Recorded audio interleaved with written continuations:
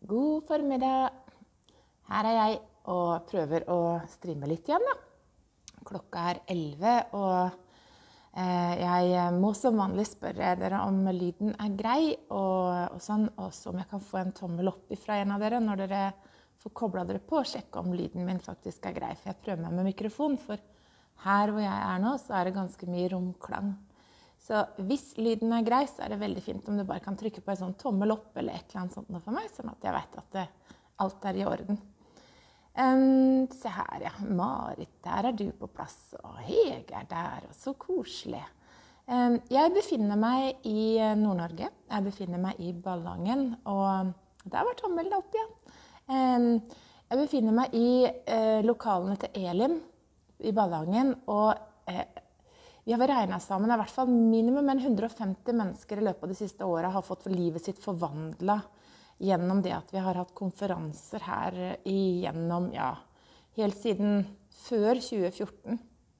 Eh, dette stedet forandra livet mitt også, eh, på alle måter. Og eh, denne gangen så er jeg innom. Jeg er egentlig på vei videre, men jeg skal ha møte her i kveld. og jeg hadde egentlig tenkt jeg skulle gå ut, men det blåser og det regner oppover, tror jeg. Så jeg tenkte nei, vi tar et møte fra salen eh, bare sånn her i formiddag. Veldig, veldig, veldig, veldig spesielt for meg å være her. For deg som ikke er kjent med Elim i Ballangen, så Elim i Ballangen har et rykte. Og et, de har et rykte på at her har mennesker fått virkelig forvandla livet sine. Og så kom det viruset, da. Og så har vi vært litt nede. Og så får vi se hva, hva Gud har planlagt videre her.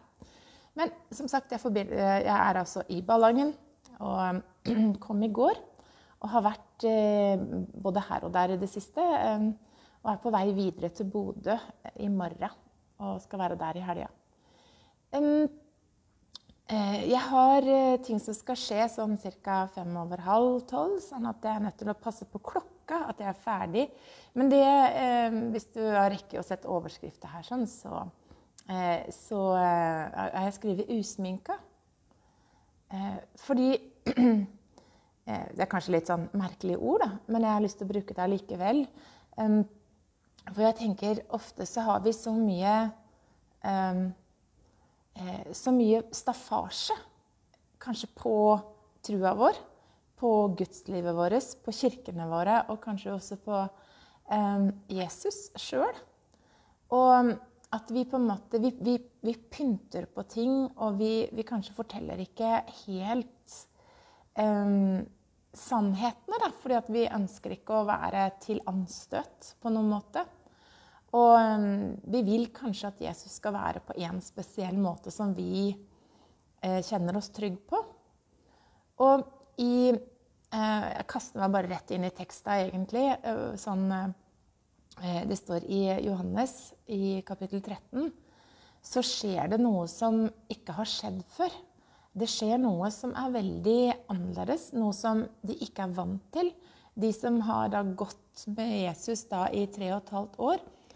Jesus gjorde stadig ting som ikke de egentlig forsto, som ikke de skjønte. De, de gjenkjente det ikke. De, det var ikke noe de var um, på en måte som de uh, De kunne ikke forberede seg på egentlig hva Jesus eh, skulle gjøre i neste sekund.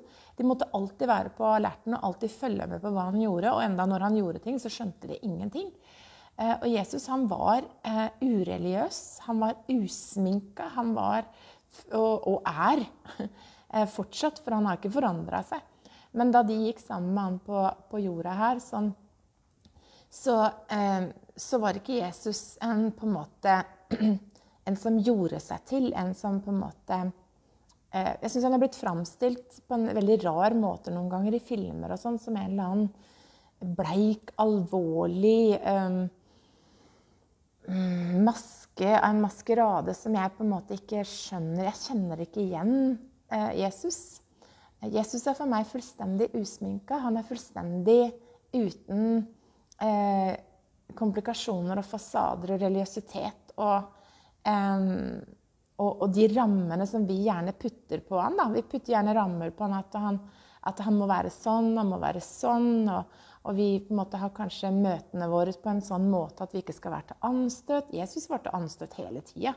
Vi skal ikke provosere noen. Jesus gjorde jo ikke noe annet. Eh, vi skal ikke forstyrre den som sover. Jesus han vekka opp folk fra døden. Um, Disiplene greide liksom aldri helt tror jeg, å skjønne eh, hvorfor Jesus plutselig gjorde ting som de ikke var vant til. Og eh, den siste kvelden før Jesus skulle korsfestes, da, så, så, skjer det veldig mye rart. Altså, de har jo tatt nattverd med han og alt dette her i, i flere år. og Plutselig så gjør han noe annet. Og akkurat denne kvelden så, så skjer det noe som da står om i Johannes kapittel 13. Så, um, mens de da på en måte er rundt dette måltidet eh, og, de, og, der er også Judas. Eh, spesielt at Judas var der, han som forrådte Jesus. Han var også der. Jeg drev og tenkte var han til stede. Jo, han var faktisk til stede. Ser det sånn det, Bare arrester meg hvis jeg tar feil, hvis det er noe jeg ikke har fått med meg. Men det ser ut til at Judas han som forrådte Jesus, var til stede i dette som jeg nå bare skal dele sånn eh, Jesus, han Midt i dette som foregår, så reiser han seg opp. Og så tar han av seg klærne sine, altså yttertøyet. Eh, han tar av seg eh, altså staffasjene, for å si det sånn. Han tar av seg dette som på en måte eh, kanskje definerer hvem han er og hvilken status han har eh, i forhold til det å være deres rabbi, i forhold til eh, å være deres eh, lærer og læremester og alt dette her. Sånn. Han gjør noe som de aldri har sett at en, en rabbi har gjort før. Um, han, han, tar av seg altså, Skal du ta av deg klærne når vi spiser mat, liksom? Hvorfor gjør du det her? Dette har du ikke gjort før. Og så eh, har han da underklærne på, og det var samme klærne som faktisk en slave pleide å gå med. Eh, og det var en sånn kjortelsak, da. Eh, egentlig undertøy på en måte, men det var mer en slaves drakt. Slavene hadde ikke disse fine draktene på utsida. De hadde ikke fasader. De var det de var. De var slaver. Og Jesus han tar av seg, og så tar han et håndkle og binder rundt livet. Og det er sånn det står det at det, det håndkleet var på en måte var sånn ca. 1,5 meters stort sånt eh, tørkle eller håndkle. Så han binder det om seg på et eller annet vis. Og så, eh, og så bøyer han seg ned Eller nei, det gjør han ikke. Han går og henter vann. Han ser til å få henta faktisk vann. Et vaskefat. Og så Jeg kan tenke meg øya på disiplene. Jesus, hva driver du med?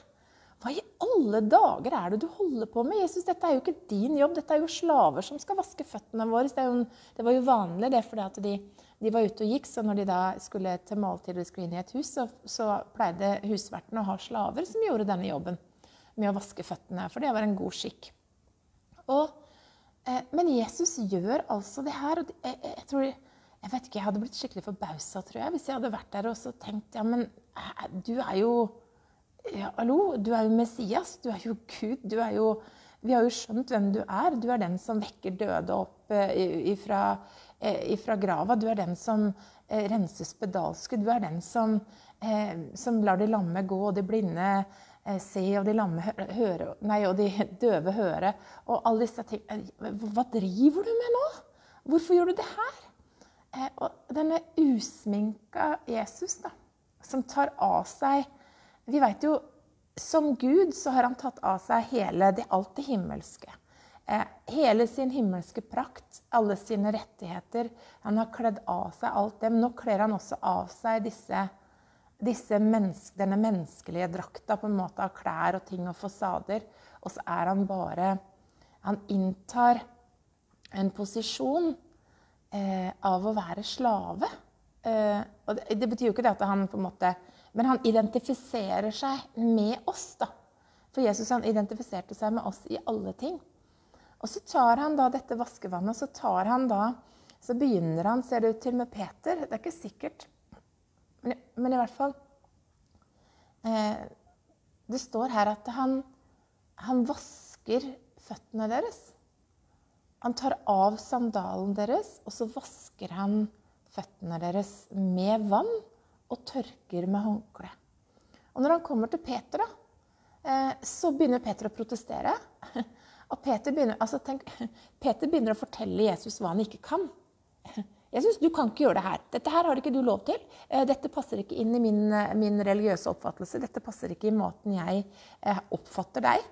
Dette kan ikke du gjøre, Jesus. Det, nei, aldri i verden om du får lov å gjøre det på denne måten. Dette får ikke du lov til. Jeg tenker, er det hvordan, Hvor frekke vi er noen ganger uten å egentlig mene det. Så Peter han begynner å fortelle Jesus hva han ikke har lov til, øh, hva han har lov til og ikke lov til. Men Jesus bryr seg ikke, og Jesus forklarer ham at, øh, vet du hva, at eh, dette må skje. Ellers har ikke jeg noe del med dere. Og, og da begynner Peter å skjønne Å! Ja, ja, ja, ja. Ja, men, så, ja, ja, men da syns jeg da kan du bade hele meg, da. så begynner han å fortelle Jesus hva han skal gjøre, og instruere Jesus i hvordan han skal gjøre det her. Ja, men ikke bare, ikke bare beina mine. Nei, nei, nei, da får du bade hele meg, da. Eh, og hvordan vi har så lett for å fortelle Jesus hvordan han skal gjøre ting, fordi det er så ukjent for oss, kanskje.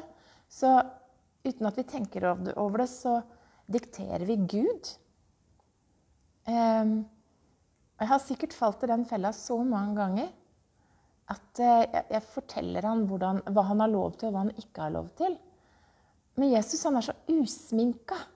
Eh, han er så ureligiøs. Han, noe, han, har ikke noe sånn her at nå er det viktig at vi holder på fasaden her. og det er viktig, Jeg kan ikke på en måte vise meg svak overfor, overfor noen andre, for da utnytter de meg sikkert. Mens han er så trygg i sin identitet at han har ikke noen problemer med å avkle seg de ytre fasadene og faktisk vise disiplene det at eh, det å være et tjenende lederskap, det å bøye seg ned og, eh, og, og, eh, og tjene andre og ta vare på andre Og du kan sikkert ha mange rare, mange rare utlegninger om det her, og du har sikkert hørt kanskje masse flott om det òg. Men jeg ser liksom hvordan Peter er så Ja, han er så artig. Eh, hvordan han kjapt er på med en gang liksom, og skal forklare Jesus. Han, vi har jo historie på historie hvordan Jesus da han var på, oppe på fjellet og møtte Moses og Elia, så var Peter der med en gang. 'Å, la oss bygge hytte! Å, vi, kan, vi, kan, gjøre sånn og vi kan gjøre sånn.' Og instruere Jesus i hvordan ting skulle være. da. Nå er heldigvis Jesus eh, så eh, god at han eh, tåler det vi gjør. Men han gjør det han vil allikevel. Han gjør det sånn som han vil allikevel. Og jeg syns det er så viktig at eh, vi ikke begynner å eh, sette begrensninger på hvordan Jesus skal gjøre ting, når hans undervisning der, den var ikke med ord, den var med en handling. Eh, hans gjerning underviste så mye sterkere, og jeg tenker Judas var også der. Hadde Jesus lov til å vaske føttene til Judas også? Han som forrådte ham? Ja, Jesus valgte faktisk å gjøre det. Og han var i sin fulle rett. Jeg tror faktisk Judas som forrådte ham, hvis han hadde vent seg til Jesus etterpå, så tror jeg faktisk at han også eh, ville hatt ei åpen dør inn i det himmelske. Men han valgte annerledes. Eh, vi velger sjøl. Eh, Judas hadde allerede, det står det litt før eh, dette vi leser, så står det allerede, så hadde han begynt å tenke på hvordan han skulle forråde ham. Så han hadde dette i hodet. Tenker, hva, hva, hva, må ha foregått i hodet hans? Her sitter han egentlig og tenker på hvordan han skal forråde Jesus, og hvordan han skal på en måte få gjøre dette her. Og han, er, han har allerede planene. Og så ser han at Jesus vasker føttene hans. Og enda til og med det gjorde at Judas ikke ombestemte seg. Og Noen ganger kan tanker sette seg så hardt fast at selv i møte med Jesus og hans utrolige omsorg, så allikevel så nekter man å endre mening. Nå vet vi at dette var jo bestemt hos Gud hvordan disse tingene skulle være. Men allikevel så har det noe med at vi har jo en fri vilje òg, da. Um, Men hele denne, hele denne, settingen, hele denne scenen, hele dette, hvordan det beskrives eh, Du kan lese det sjøl i Johannes evangelium i kapittel 13. Hvordan Jesus hele tida overrasker disiplene, hvordan han gjør ting annerledes. Hvordan han viser dem ting på en annen måte enn vi ville gjort. Så Men så blir det sånn eh, Det er så kjapt at la oss, la oss bygge hytte her. La oss, la oss, gjøre eh, La oss skape en tradisjon ut av det her. Og så har man gjort det sånn at man liksom, nå skal vi alle fram med vaskebøtta og vaske hverandres føtter. Og så er det blitt en eh, Spesielt i det katolske så er jo det blitt en sånn fotvaskingsseremoni som er til eh, men igjen så ser jeg det at når man har disse fotvaskingsseremoniene, som er sånn høytidelige med full staffasje med røkelse og, og, og lovsangskor og gullkroner og jeg vet ikke alt mulig rart, så har det blitt som en, som en hellig et, et relikvie. Det har blitt et, som en sånn hellig handling som er Se hvor ydmyk jeg er. Jeg er så ydmyk at jeg er stolt av det. Nå må alle se hvor ydmyk jeg er. Og jeg vasker da føttene på den og den. Eh, vi må, vi må være forsiktige så ikke vi faller inn i det også som en religiøsitet. For Jesus, Jesus var og er så totalt altså usminka, uten, uten begrensninger, uten eh, å gjøre seg til, uten å liksom eh, være eh, på en måte opptatt av hvordan, hva folk tenker om han, hva folk mener om han, eh, hvordan han bør gjøre ting eller ikke bør gjøre ting. Kanskje vi burde være litt mer, mer sånn innstilt, vi òg. At vi ikke skal være så opptatt av hva folk mener og tenker. Og kanskje disipler eller, eller etterfølgere av Jesus stadig sier at du kan ikke gjøre sånn. Du får ikke lov å gjøre det, du må ikke gjøre det, du må ikke gjøre det.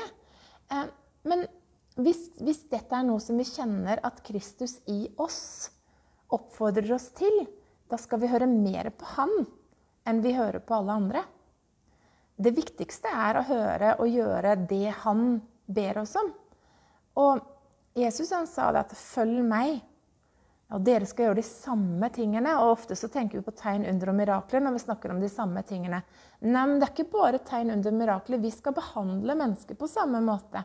Vi skal behandle hverandre på samme måte. Vi skal behandle oss sjøl på samme måte. De samme gjerningene. Eh, altså ha Kristi sinn. Måten Jesus eh, kanskje stadig overraska folk eh, med å gjøre det som ikke folk, had, folk venta. Men han gjorde det som var rett. Han gjorde kanskje ikke det som var rett i menneskers øyne, men han gjorde det som var rett i Guds øyne. Og han er vår han er vår læremester. Han er vår rabbi. Han er vår rabbuni. Han er vår Og det å studere hvordan Jesus til stadighet overraska disiplene jeg var hjemme hos noen i går og, og lot meg forundre og snakka litt om dette her med denne kvinnen som kom inn i huset til den spedalske og, og, og salva hodet til Jesus med, med, en olje og sånn som hun hadde i en alabasterkrukke, som var verdt en hel årslønn. Og hvordan det var faktisk disiplene som kritiserte. Det var disiplene eh, som ble sure og sinte og fortalte Jesus at nei, vet du hva, dette her må du ikke finne deg i. Kjære vene, dette her, disse pengene kunne blitt brukt på noe helt annet. Eh, og jeg tenker, jeg håper ikke jeg er sånn.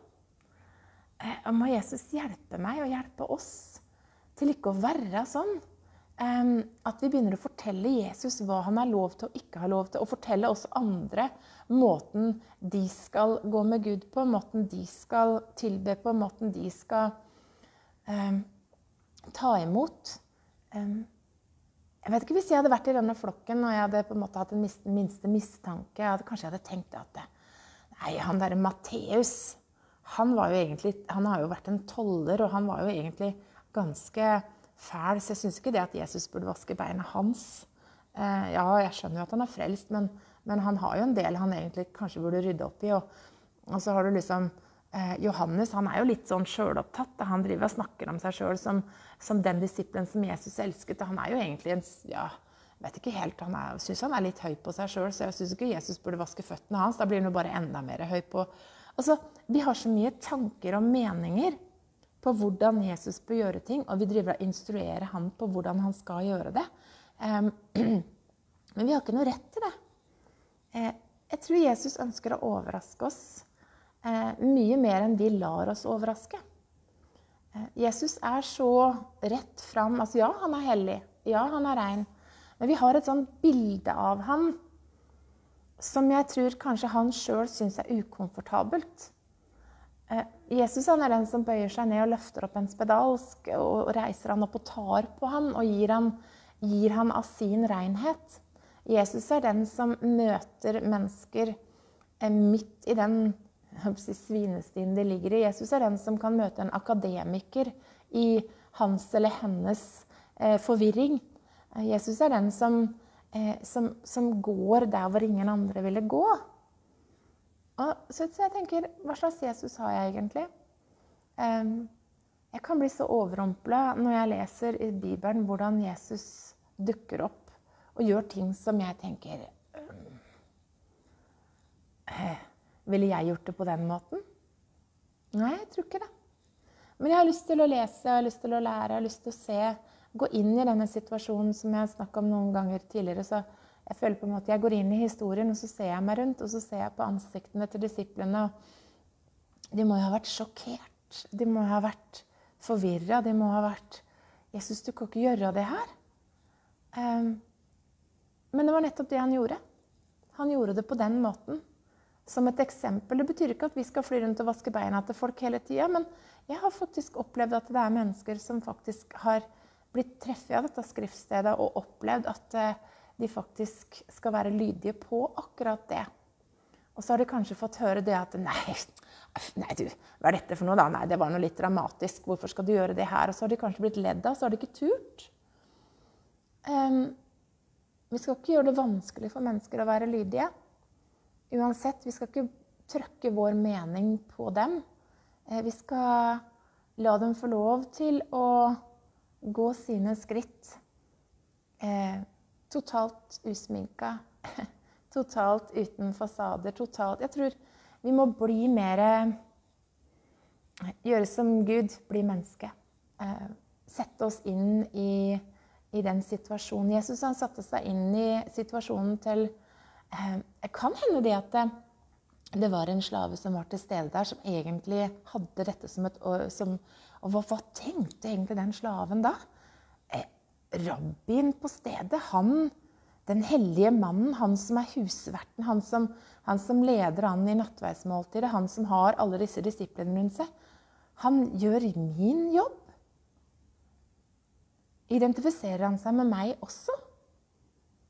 Jeg tror det var et sterkt vitnesbyrd hvis slaven var til stede og så det. Og det er mye mulig han var det. Ofte, eller som oftest, så gjør Jesus ting som ikke vi skjønner. Eh, og jeg tror det at eh, han vil se til at vi også gjør ting som folk ikke skjønner. Og Jesus han sier til Peter, 'Du forstår det ikke nå, men du skal skjønne det siden'. Og jeg tror vi er i en sånn situasjon, mange av oss, at vi forstår det ikke nå, men vi kommer til å skjønne det siden. Og vi skal ikke prøve å forstå alt nå. Vi skal ikke analysere alt og, eh, og kanskje kopiere alt og, eh, og lage en, en, tradisjon ut av alt. Vi skal, vi skal, la oss lede hver eneste dag eh, til kanskje å gjøre ting som vi lurer på. Men vi skal ikke spørre hvorfor. Eh, Maria, mammaen til Jesus, eh, da Jesus gjorde vann til vin, så så instruerte ikke hun Jesus i hvordan han skulle gjøre det. Mødre har lett for å fortelle sine barn hvordan de skal gjøre ting. Men hun drev ikke en oppdragerrolle. Hun fortalte ikke Jesus hvordan han skulle gjøre det. Hun fortalte egentlig ikke at han skulle gjøre det heller. Hun beordra han ikke til å gjøre noe som helst. Men måten hun kom til han på og bare forklarte at her er det en situasjon Jesus, og måten han svarer på, eh, gjør at hun snur seg rundt og så bare sier hun til de andre at det han sier dere, gjør det. I full visshet om at eh, jeg trenger ikke fortelle han hvordan han skal gjøre ting. Vi må slutte å fortelle Gud hva han har lov til, og hva han ikke har lov til. Og la han få lov å gjøre ting på sin måte. I andres liv og i vårt liv. Yes, um, klokka mi Jeg har brukt ca. 25 minutter. Um, jeg skal uh, forberede meg på Jeg skal bare ha en lydsjekk etterpå. Så, fordi at uh, jeg skal ha et kjapt intervju på direkten med Visjon Norge rundt omkring halv to. Så, så for dere som, er, eh, som, følger med og som ber, så be om at jeg må få si noe vettugt. Eh, det er ikke så lange, det er fem til åtte minutter, eller sånt, så det er ikke så lange snutten. Men det er litt moro å ha muligheten til å kunne peke på eh, det Jesus holder på med. Så be om at jeg får muligheten til det, om at jeg får lov å helt usminka. Være solfrid. Eh, ikke predikanten, ikke evangelisten, ikke eh, noe annet enn å få lov å være meg sjøl, helt usminka. Eh, sånn som vi egentlig er laga. Du skal ikke være noen andre. Det er sånn, altså, du får være deg sjøl. Alle andre er opptatt. Yes, Så da fullfører jeg, og så skal jeg kikke på kommentarene etterpå. Tusen takk for at du fulgte med. Jeg sitter jo da på eh, scenekanten til eh, her på Elim i Ballangen med hodet fullt av minner om vanvittige ting som Gud har gjort her. Og Gud er ikke ferdig med Elim. Eh, men hvordan han skal gjøre det, det skal ikke vi instruere han på. Eh, han skal få lov å gjøre det han vil på dette stedet, her oppe i Nord-Norge, oppe i dette ville og vakre landskapet. Skal han få lov å gjøre det sånn som han vil. Og så får vi legge av oss all staffasje og følge med på hva han holder på med. Yes, OK. Um, jeg trykker på 'fullfør', og så må dere ha en nydelig dag. Uh, neste uke så er jeg i hvert fall på hjemtrakter på onsdag. Jeg er hjemom, i hvert fall. Um, for helga etter der igjen så er det Sortland. Men først er vi her. OK. Ha det.